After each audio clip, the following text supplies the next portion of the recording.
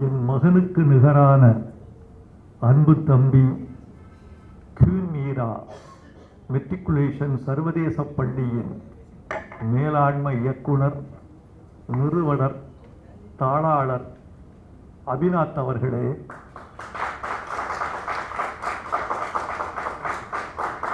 இந்த இனிய விருதுக்கு மூலப்பொருளாக திகழும் என் அருமை நண்பர் இசையமைப்பாளர் கலை மாமணி அனில் சீனிவாசன் அவர்களே.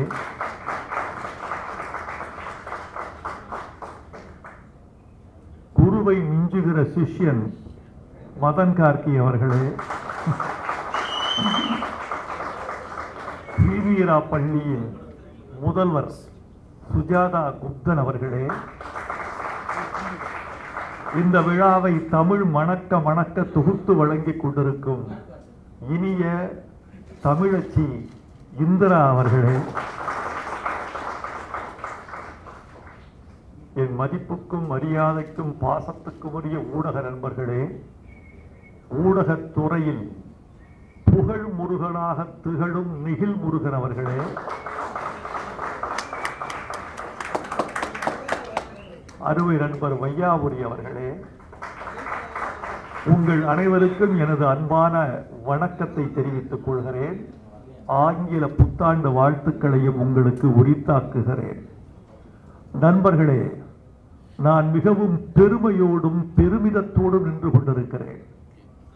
பெருமைக்கு காரணம் வைகை நதிக்கரையில் ஒரு பள்ளி குவீன் மீரா மெட்ரிகுலேஷன் சர்வதேச பள்ளி ஒரு உலக சிந்தனையை சிந்தித்து அதை உலகத்தின் உச்சத்திற்கு தமிழை கொண்டு சேர்த்திருக்கிறது அபிநாத்தின் மூலமாக என்ற பெருமை. அதற்கு காரணங்களாக என் நண்பரும் என் மைந்தனும் திகழ்கிறார்கள் என்பது எனக்கு பெரிய பெருமை.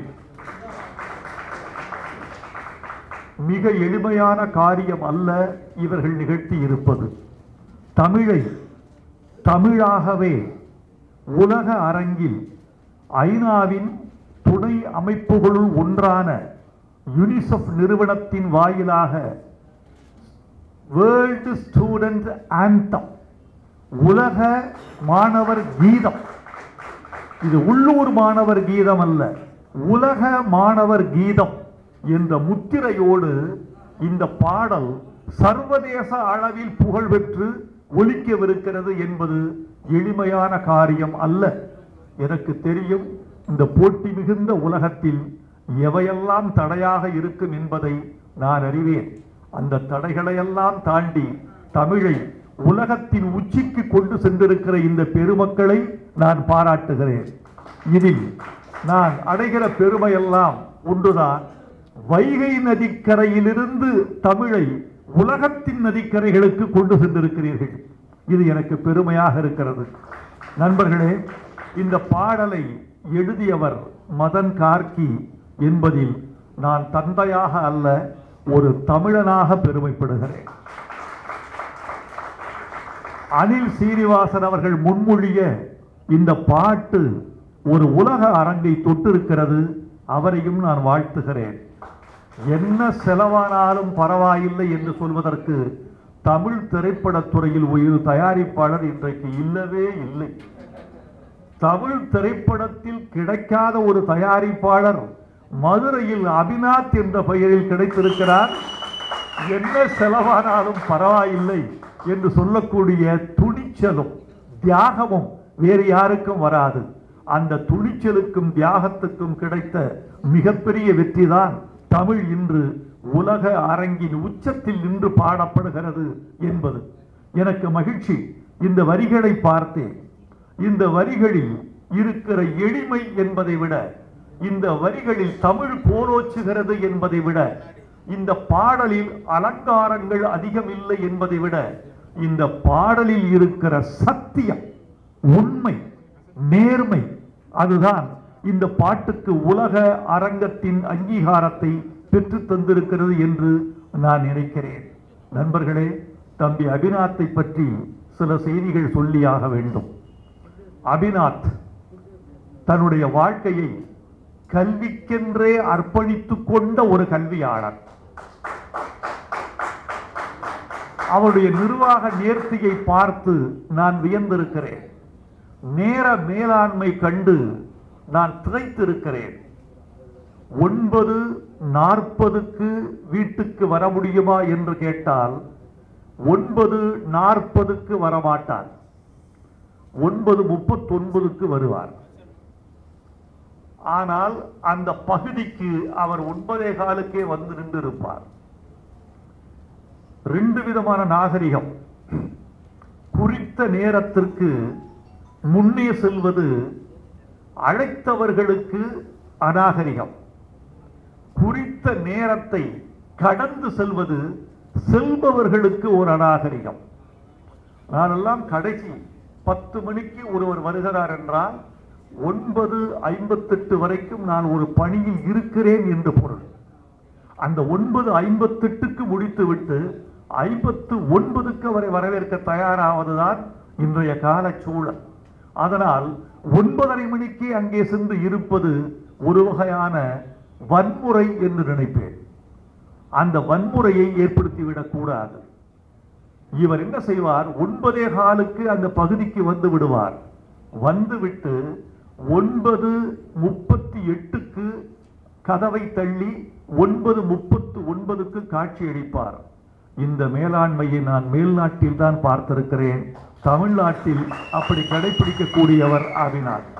அவர் கல்விக்காக தன் உடலை உழைப்பை உயிரை தன் பணத்தை தன் வாழ்க்கையை அர்ப்பணித்துக் கொண்டிருக்கிற ஒரு இளம் கல்வியாளர். எனக்கு தெரியும் இன்னும் பத்து ஆண்டுகளில் தமிழ்நாட்டின் குறிப்பிடத்தக்க கல்வியாளர்களில் ஒருவராக அபிநாத் திகழ்வார் என்ற நம்பிக்கை எனக்கு இருக்கிறது. அந்த நம்பிக்கையை நான் உணர்ந்து சொல்கிறேன். நான் ஜோசியம் சொல்ல மாட்டேன் மிகையாகவும் சொல்ல மாட்டேன். நான் உணர்ந்து சொல்கிறேன் இந்த இந்த செய்தி உண்மையாவதை நீங்களே கண்கூடாக நாளை காண்பீர்கள். அனில் சீனிவாசன் ஒரு இசையமைப்பாளர் என்று பல பேர் நினைத்துக் கொண்டிருக்கிறீர்கள். இல்லை அவர் இசை ஆசான். எத்தனையோ இசை விற்பனர்களுக்கு இசை கற்றுக் கொடுத்துக் கொண்டிருக்கிற ஆசான். அவர் இன்னும் கற்றுக் கொண்டிருக்கிறார் கற்பித்துக் கொண்டிருக்கிறார் ஒரு தேர்ந்த இசையமைப்பாளர். இந்த இரவு தீர்வதற்குள்ளே என்று நான் ஒரு பாட்டு எழுதி கொடுத்தேன். இந்த இரவு தீர்வதற்குள்ளே என்னென்ன நடக்கும் என்பது அந்த பாட்டின் உள்ளடக்கம். முதல் வரியிலேயே என்னை திகைக்க செய்து விட்டார். இந்த இரவு தீர்வதற்குள்ளே என்கிற அந்த ஒரு வரி இசையில் இரவு சொட்டு சொட்டாக நகர்கிற அனுபவத்தை எனக்குள் ஏற்படுத்தி விட்டார்.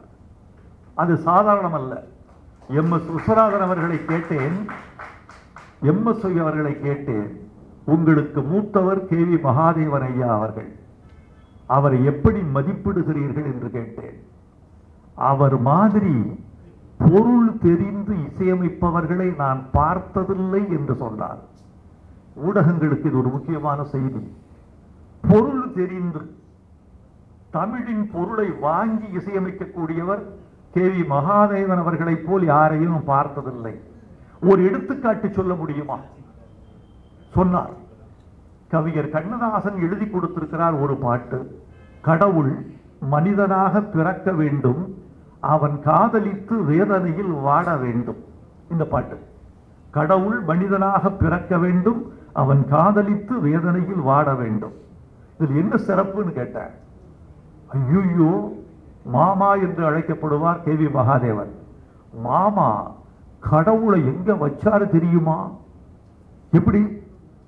கடவுள் மனிதனாக பிறக்க வேண்டும். என்ன சொல்றீங்க கடவுள் உச்சத்தில் இருக்காரு. கடவுள் பிரிச்சார். மனிதனாக பிறப்பதற்கு அவன் தரைக்கு வர வேண்டும். அப்படியே கீழே கொண்டு வந்தார். அந்த உணர்வு பொருள் அந்த செயல் எல்லாம் தெரிகிற மாதிரி இசையமைக்க வேண்டும். அன்பே எங்கள் பாதை என்பது முதல் வரி. இந்த அன்பே எங்கள் பாதையை ஒரு மேற்கத்திய வல்லிசை போட்டு அன்பே அன்பே எங்கள் பாதை. இதுவே ஒரு வன்முறையாகிவிடும். ஆனால் அன்பே எங்கள் பாதை அறிவே எங்கள் பயணம். அச்சமில்லா நெஞ்சம் கொண்டார் அழகாய் எங்கள் உலகம் என்று எளிமையாக எழுதியிருக்கிறார் மதன் கார்கி. மதன் கார்கி உணர்ந்து செயல்படுவார். எந்த இடத்தில் விஞ்ஞான சொற்கள் இட வேண்டும் எந்த இடத்தில் இலக்கிய சொல் பெய்ய வேண்டும் எந்த இடத்தில் எளிமையை கையாள வேண்டும் எந்த இடத்தில் பொருள் புரியாத வார்த்தைகளை போட வேண்டும் எந்த இடத்தில் பொருள் புரிகிற வார்த்தைகளை போட வேண்டும் என்று எழுதியிருக்கிறார். நண்பர்களே இந்த வார்த்தையில் எதுவுமே புரியாதது இல்லை. எல்லோருக்கும் எல்லாம் புரிய வேண்டும். ஏன் தெரியுமா? குழந்தைகளுக்கான பாட்டு. குழந்தைகளுக்கு புரிகிற மொழியில் சொல்ல வேண்டும். குழந்தைகளுக்கு புரிகிற வார்த்தைகளை மீண்டும் அவர்கள் நாவில் உச்சரிக்கக்கூடிய வார்த்தைகளை இட வேண்டும். அதனால் இந்த பாடலை குழந்தைகள் மொழியில் எழுதியிருக்கிறார் என்று நான் கருதி மதன் கார்கியை பாராட்டுகிறேன். நண்பர்களே மரஞ்செடி கொடிகள் போலே பூச்சிகள் பறவைகள் போலே விலங்கினம் விலங்கினம் மீனினம் போலே பிறந்தோம் பூமியின் மேலே. இது இருக்கிற முக்கியமானது இயற்கையின் பரிணாம கொள்கை மாறாமல் இந்த நான்கு வரிகளும் இருக்கின்றன. நண்பர்களே மகனை பாராட்டினார் வைரமுத்து என்று நீங்கள் செய்தி போட்டு விடாதீர்கள். இன்னொரு பாடலாசிரியரை ஒரு மூத்த பாடலாசிரியர் பாராட்டினார் என்று மட்டும் போடுங்கள். மரஞ்செடி கொடிகள் போலே பூச்சிகள் பறவைகள் போலே விலங்கினம் மீனினம் போலே பிறந்தோம் பூமியின் மேலே. பரிணாமத்தினுடைய வரிசைப்படி எழுதப்பட்டிருக்கிறது. மரஞ்செடி கொடிகள் போலே விலங்கினம் மீனினம் போலே என்றிருந்தால் அது பரிணாம பிழை. பரிணாமத்தின் வரிசை அந்த நிரல் நிறையில் இருக்க வேண்டும் என்றுதான் முதலில் தாவரங்கள் பிறகு பூச்சிகள் பறவைகள் பிறகு விலங்கினம் மீனினம் பிறகு குரங்கு பிறகு மனிதன் என்ற பரிணாம வரிசையில் இந்த பா- இந்த பாடலை இந்த நான்கு வரிகளை எழுதியிருப்பதற்காக மதன் கார்கிக்கு டார்வின் சார்பில் நன்றி சொல்கிறேன். எங்கள் உயிரும் ஒன்றென்ற உலக உலகம் காப்போம் நாம் இன்று. கற்பவை ஏதும் நமதன் நமதென்று பிறருக்காக தரத்தான் என்று. கற்பவையெல்லாம் நமக்கல்ல பிறருக்கு தரத்தான் அறிவிதான் ஆகுவதுண்டோ பிரிகின் நோய் தன்னோய் போல் போற்றா கடை என்ற திருக்குறளை எளிமைப்படுத்தி பிள்ளைகளுக்கு சொல்லப்பட்டிருக்கிறது இந்த பாட்டில்.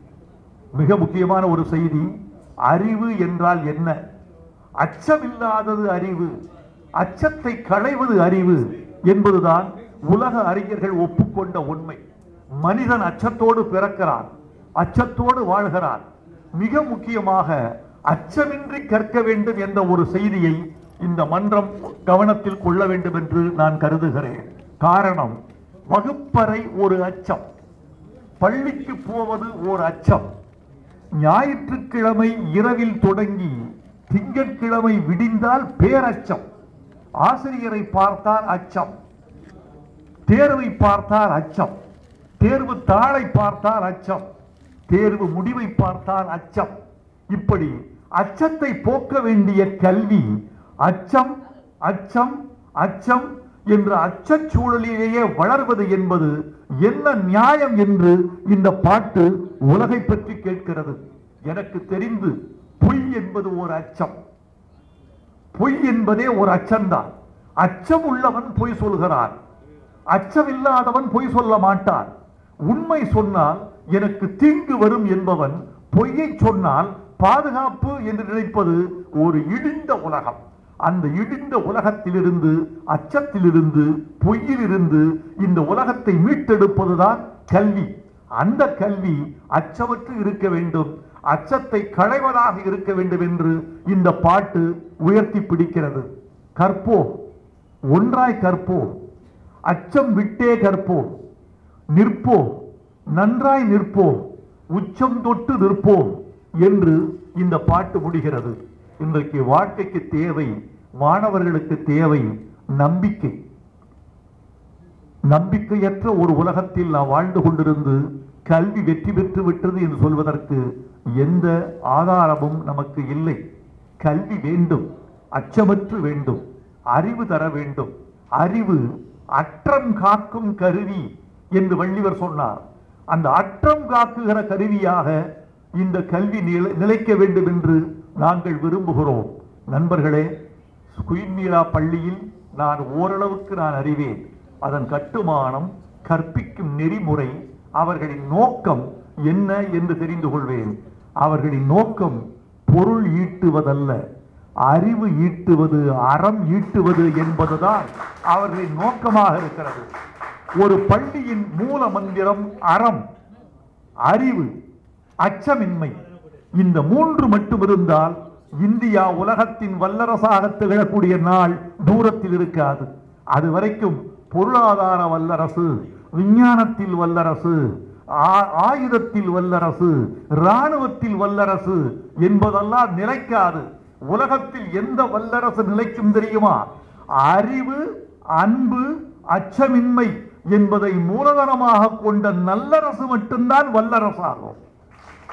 இதை உலகத்திற்கு சொல்வதற்குத்தான் இந்த விழா. நண்பர்களே இந்த விழா ஒரே ஒரு கருத்தை முன்னிறுத்துகிறது.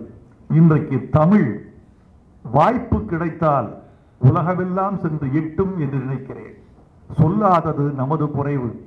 பாரதியாரை தெரியாதவர்கள் திருவள்ளுவரை தெரியாதவர்கள் கம்பனை அறியாதவர்கள் திருமூலரை அறிமுகம் செய்து கொள்ளாதவர்கள் வடநாட்டிலேயே அதிகமாக இருக்கிறார்கள்.